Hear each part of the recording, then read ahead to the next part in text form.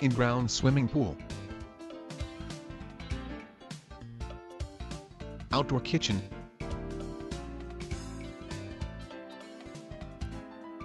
Putting green next to pool.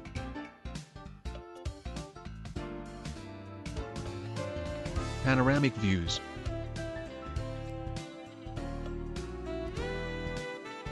Barrel vaulted ceiling.